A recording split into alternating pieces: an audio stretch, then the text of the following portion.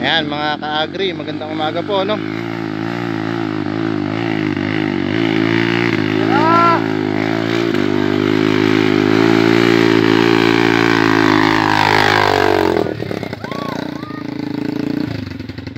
Ay, grabe. Nakakatim nakakako ng puso. Ay. Ayun. Simple-simple lang no. Taas eh.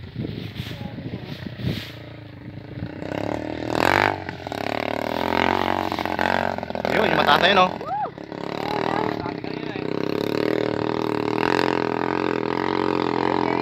Oh! Ayun na siya. Wala, perfect na na. Natanggalan daw po siya kanina kanina eh. Kaya, Kadena?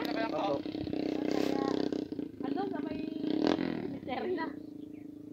yan, nakikita nyo po ba mga kaagri?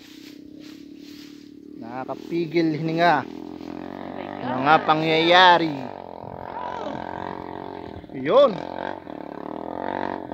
Wow! Walang wala ah. Ayan po no. Kung gaano po kahirap yung daan.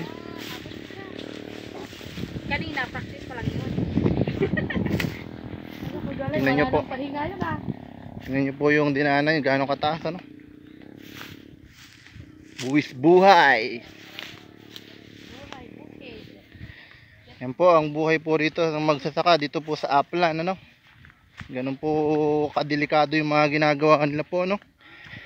Kaya hindi rin po basta-basta yung ah, pagtatanim po ng gulay lalong lalo po rito sa Aplan ano. Tingnan nyo po yung dinaanan niya. At ipapakita po natin sa inyo yung mamaya ano. Gaano kataas yung Yan mga kaagri. Ay! Pagod. Yan mga ka-agri. Ano po kahirap magtanim. Sana po lahat po ng mga itatanim po nila ay maging mahal po no para sa sulit naman po yung sakripisyo na ginagawa po nila.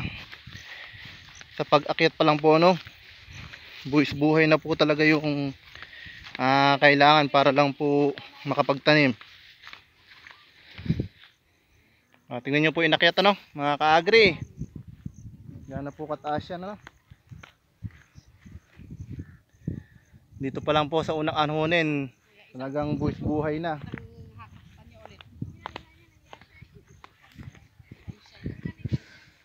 Yan, mga ka-agri.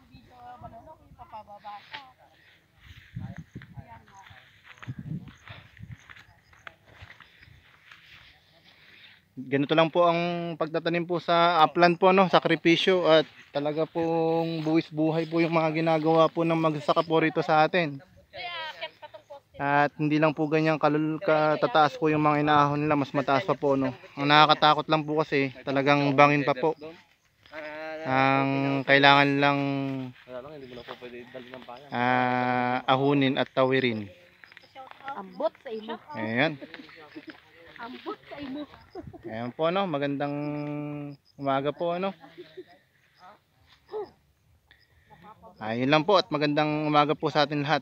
At sana po patuloy niyo po i-subscribe yung YouTube channel ko at para mas updated po kayo sa mga bago kong video ginagawa. Yun lang po at magandang ha magandang umaga po, po sa ating lahat.